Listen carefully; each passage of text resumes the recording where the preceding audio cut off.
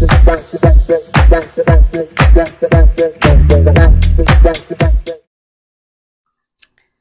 everybody, this is how you cut a watermelon.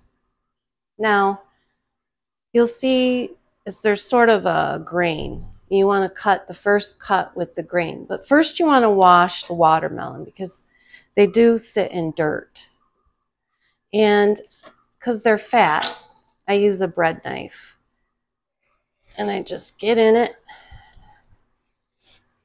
sort of spin her around. Okay, lovely. All right, and then you're going to want to cut it again. I'm going to switch knives, again, along that grain.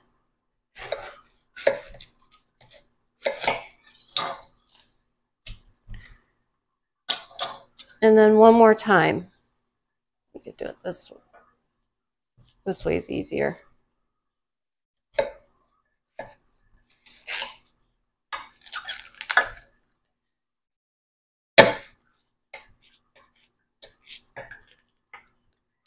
Okay, then you're going to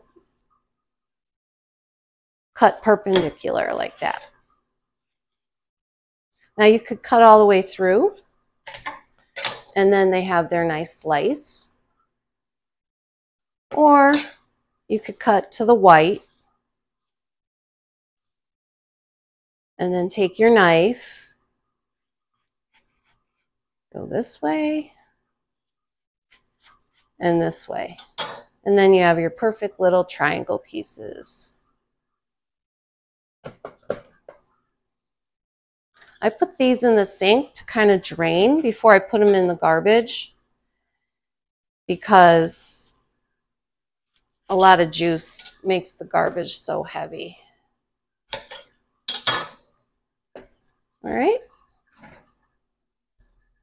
One more time.